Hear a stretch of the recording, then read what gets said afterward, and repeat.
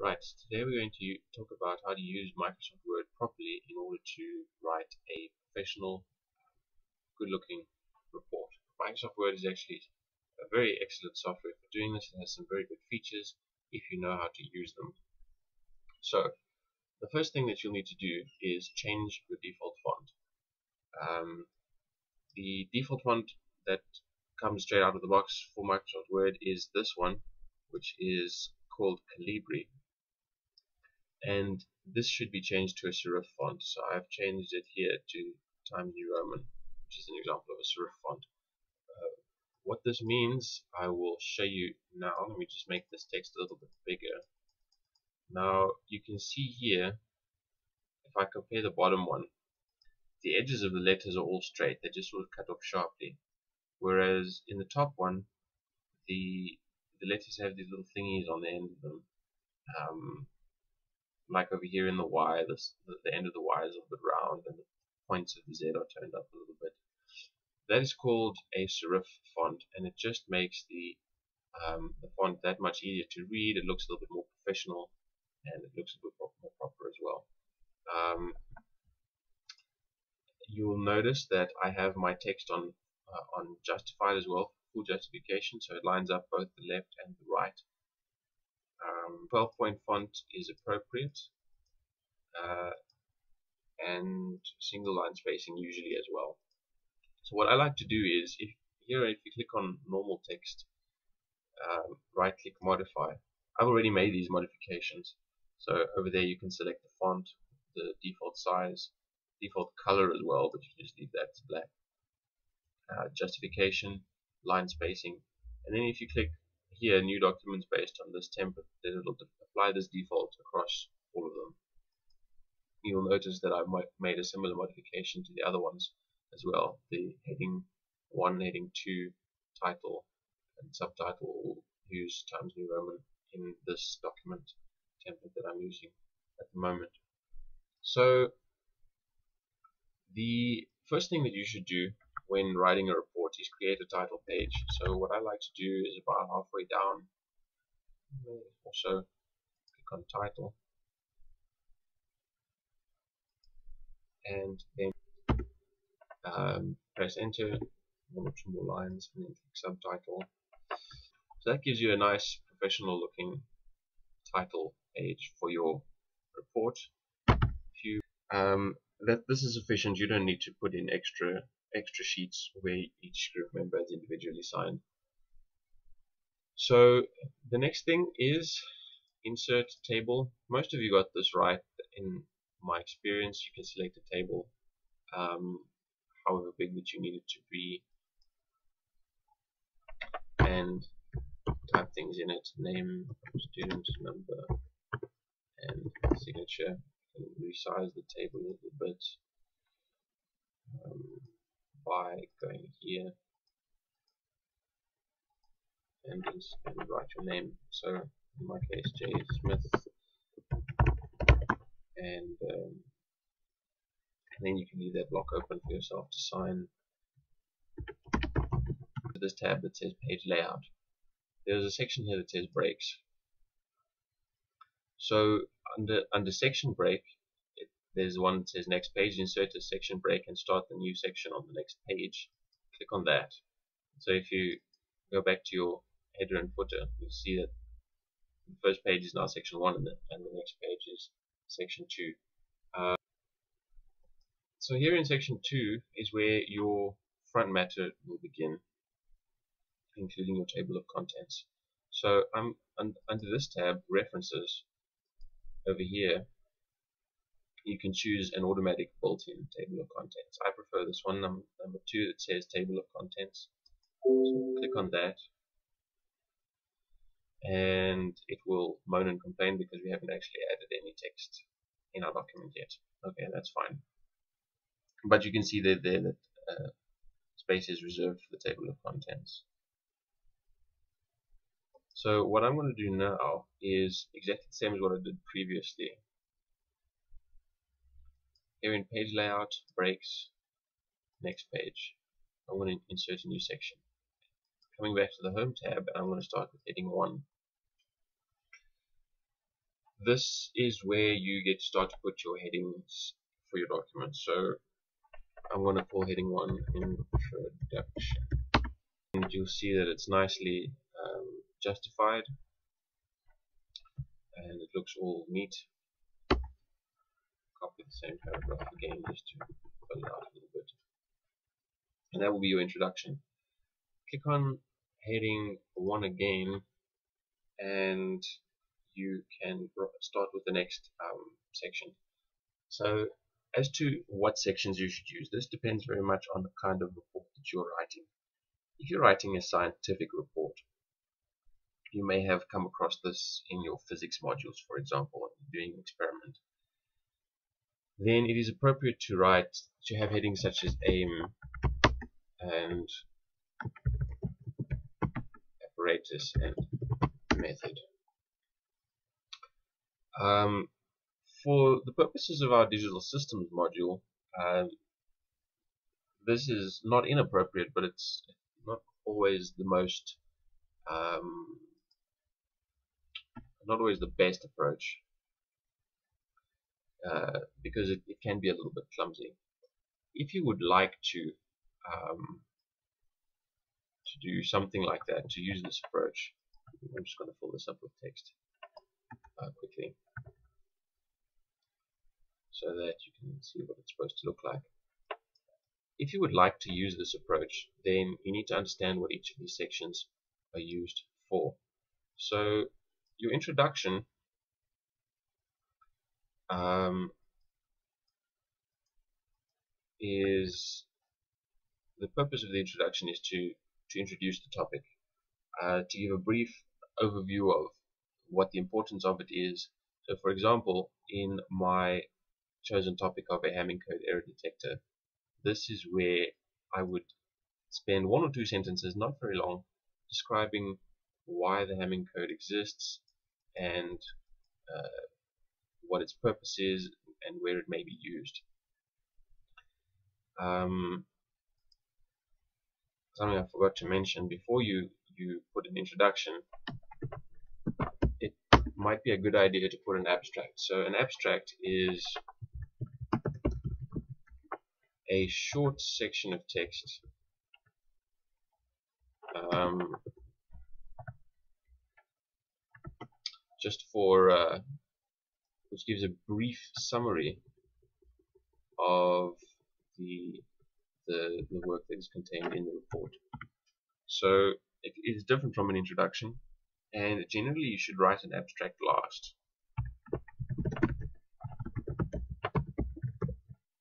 it'll it'll generally between 50 and 100 words and it will summarize everything that is in your report so it'll be it'll tell me at a glance what is there in this document summarizes the, the, the efforts to build a Hamming code error detector designs are presented simulations are presented um, results analyzed and discussed, it is it is found that, and a, a brief sentence or two um, describing your conclusion.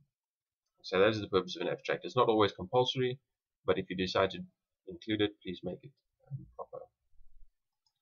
Now, the aim section, if you're performing an experiment in physics, for example, you want to test the law of conservation of momentum, then you would describe this here. Generally just one or two sentences describing what you're setting out to do.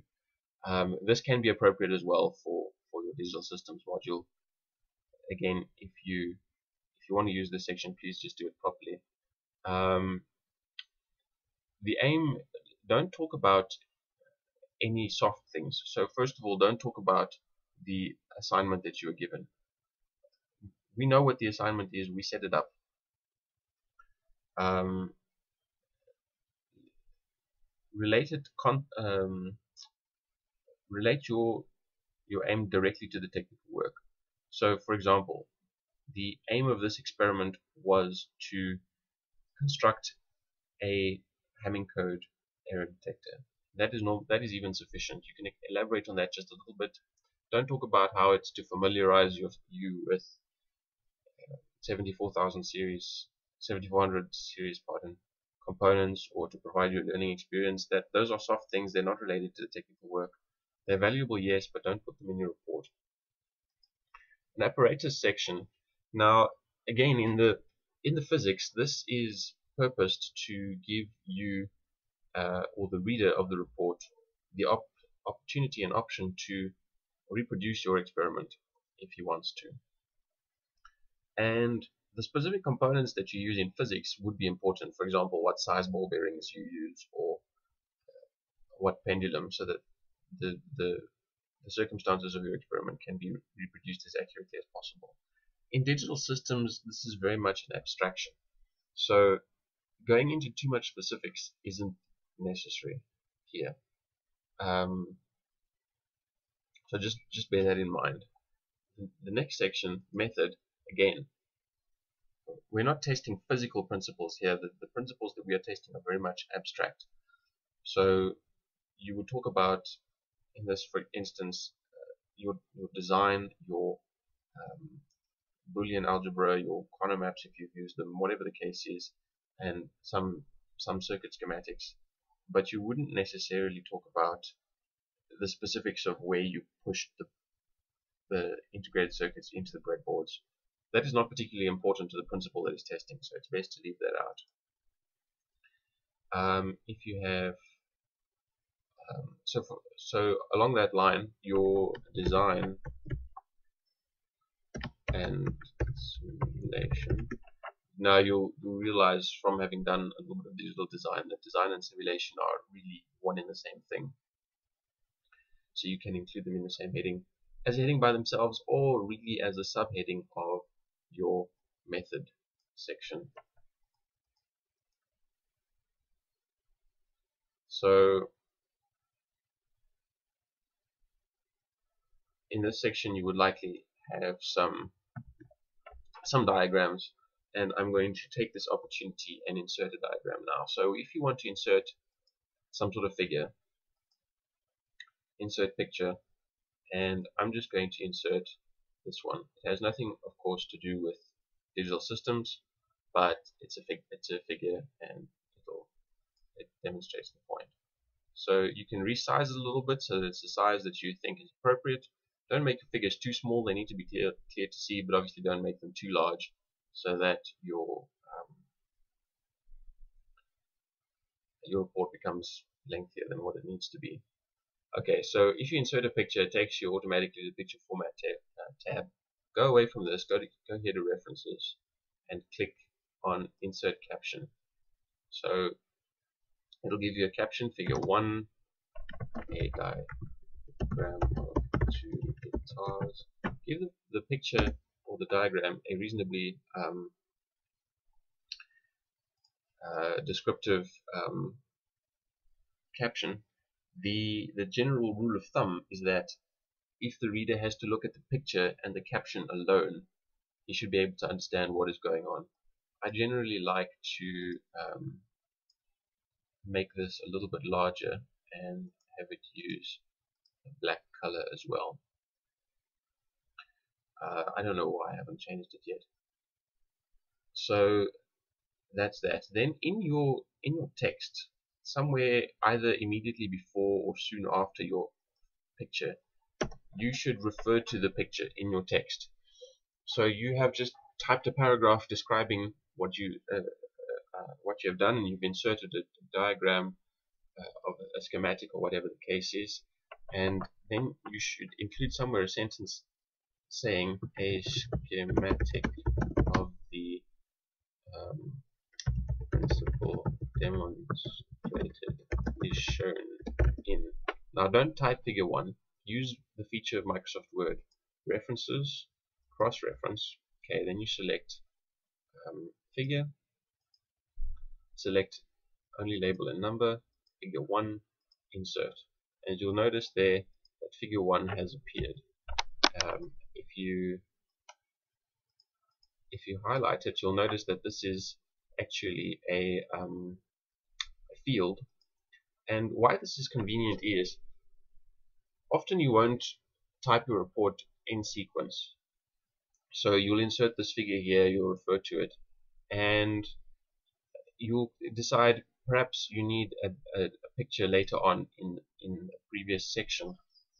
And if you've typed manually figure 1, then you'll need to go and go through your whole um, document and update the numbers by yourself. However, what Microsoft Word does, if you just uh, right click here, you can update field and if there are uh, a different number of figures, it'll update it for you or somebody press F9. At the moment, obviously there aren't, so uh, nothing will be changed. Anyway, carrying on, um, get to a new heading. Now, your heading after your design, you would might uh, uh, design and simulation, you might say, uh, call it results. Now, results section describes the outcomes of the experiment that you're performing. So in the physics, you would record the, the velocities and masses, well not the masses, the velocities of the various components, for example, how far they've moved or the, the, the frequency of oscillation of the pendulum. In your digital systems module, the um, the results section will not be as extensive. It it is sufficient to say in this case the work and in in the case that it didn't there there were a few that didn't work properly please don't waffle please don't describe in paragraphs and paragraphs how you built and rebuilt your, your circuits and things like that and the the late nights and the sleepless tears that you cried and, and that sort of thing. That, that those th those things don't belong in a technical report. Um, if you'd like, you can summarize it with just like a short truth table. It's not necessary to include pages and pages of photos uh, documenting which LEDs were lit up. Okay. It's conventional to include a section for discussion. Um, this discussion section should not introduce any new information. A lot of people here, I noticed in the reports that I marked, this is the point where they started talking about things that they hadn't mentioned in previous sections. Everything in your discussion should refer back to um, stuff that is that has already been noted. If there was a problem, if it didn't work properly, then this should be noted in your section on results. If there was a challenge in the design, that should be noted in your design section. And your discussion should discuss these things. For example, how you interpret your results, uh, if there's something wrong, what you can do to improve it or fix it next time. This is what your discussion section is for. It is not for the introduction of any new information. And then finally, um, conclusion. Now, if you're testing a hypoth hypothesis, as you would be in physics, for example, you're testing the um, conservation of momentum, then your discussion would be short. Say in the experiment performed, the conservation of momentum has been confirmed. In a in a report designing or des describing a design practical, uh, this is less of a of an issue. If you are testing something new, then you in your conclusion section you will conclude that this is an improvement on the state of the art, or this is a technique that works, or this is a technique that sort of works but needs improvement. If you're not testing anything groundbreaking, so for example you're building a 3-bit adder or Hamming code error detector, these are things that have been done many times before. So your conclusion can be almost a repeat of your abstract, but not quite. Um, so your what will be happening here is just a brief summary. A, a Hamming error code detector was constructed. Um, it was shown to work with uh, codes bit long. It could detect one bit errors and correct them and detect two bit errors. That's it. That's all you need to put in your conclusion. Your references, the last section. Now, Microsoft Word has in it a number of referencing tools, and I should have uh, been talking about this uh, along the way. Most of your references will be sort of in the beginning generally in your introduction if you've done a literature study. Later on, design and simulation, because this is your all your own work, um, you shouldn't really be referencing too many things. You won't be quoting too many things. Now, if you have not cited any references in the text, um, then you don't even need to include a reference section. Some of the things that you'll uh, do obviously will be fairly obvious and you won't need to, to cite any references to prove them. However, perhaps you have used an equation that you have sourced from a textbook or you have sourced a statement from a piece of literature and you would like to include a reference for that. Now, in this tab references, there's a, a bibliography section as well. First of all, select an, a reference style. We use either Harvard or IEEE. IEEE is preferred. Then click on Insert Citation. So first, go to your statement where you, where you need to insert a citation and the general rule is that it will come in square brackets with a number just before the full stop. Insert citation, add new source. Then Word will give you a little source uh, uh, window where you can type in. So say you used a chapter in a book, the books, then this gives you all the or relevant information there. And you'll notice that it has inserted a, a field that can be updated now the way that this works is they're numbered in the order of, of appearance. If later on in the same document you would like to cite the same thing again, you'll notice that the, the site, the source that you've uh, inserted has come there. And these will be numbered in the order of their appearance. Now if you go down to the bottom, bibliography, and just click on one of them. Scroll up. And you will notice that it has inserted your references in the proper IEEE style. The, I generally like to change this heading to references, but it's not uh, it's not critical. Right, so now we've finished with the bulk of the text of the report. What we would like to do now is uh, just format it up a little bit nicely, you will notice that um, if you have the side pane open, so view navigation pane, that as we've been going, the, the headings that we've been used are appearing over here. This top one goes right to the top of the document, abstract, introduction. You can use this to get around quickly within your document. Now that we've um, actually included some headings, we can come up to the table of contents and click on update table and you'll see that this has designed has put in a table of contents for us. Now the convention is when we have a, um, a section or rather front matter and the, the main matter of the report um, you can start numbering from page one on, on the first actual page and the uh, table of contents is numbered with Roman numerals. So if you click on the header and footer here, that highlights the header and the footer, click on link to previous. And if you click then in the in the footer, also un, uh, unlink it from the previous section. Insert page number. Now, bottom of page, I prefer to insert it on the right hand side. Then right click on that and say format page numbers then don't say continue from previous section, say start at 1. Okay, so that gives page 1, page 2, etc. So that's the main matter of your report. If you carry on a little bit upwards, you can do the same thing for your table of contents. Uh, in larger reports, your table of contents may spill over several pages, or you may have a table of figures and a table of tables. Uh, tables are inserted in exactly the same way as figures are, they, they need captions as well so that you can refer to them in the text. So I'm also going to say uh, remove the link to previous um, option in, in the section 1. I'm going to insert page number at the bottom and I'm going to go format page numbers.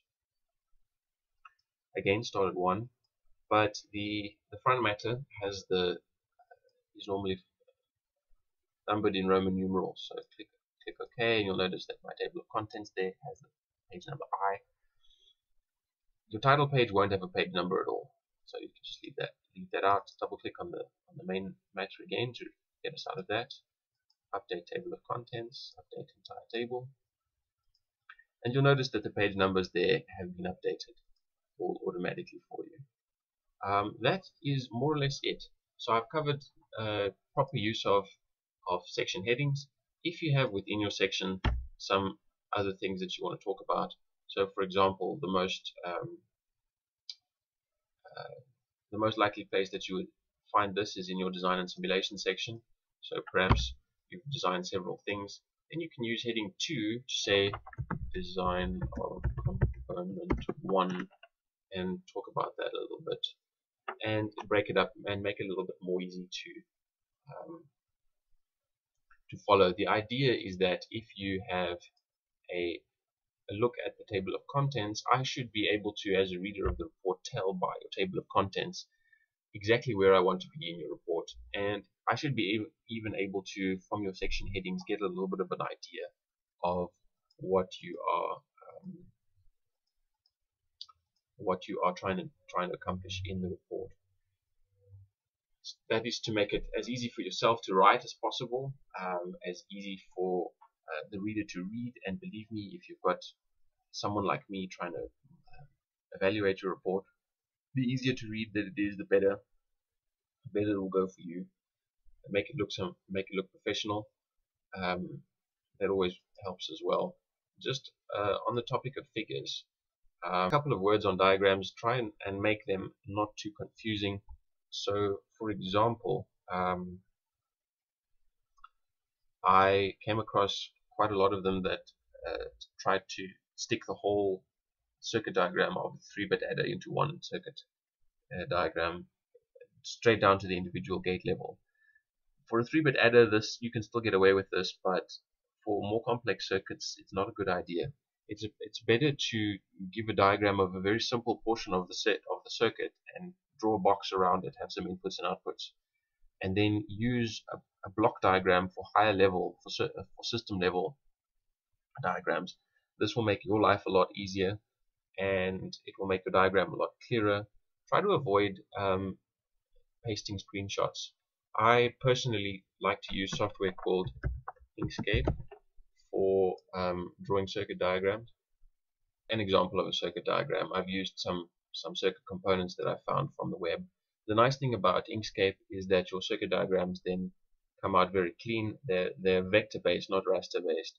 So it doesn't matter how much you zoom in, they still keep a nice um, a nice line and they don't uh, pixelate. And this also helps with printing. Some people I noticed had their circuit diagrams from um, from the website Logic.ly or from Logisim or even from ORCAD. You can do this as long as it's neat, but it usually doesn't end up looking very neat. So I would prefer that you didn't. Okay, thanks. This is uh, this has been a brief introduction into Microsoft Word and using it properly. I hope that you've benefited from this. Uh, it might be a good idea to to save a document like this as a template so that you don't need to start from scratch every time that you have to write a report and that you know that everything is already properly formatted. Okay, I hope that your reports in future are better.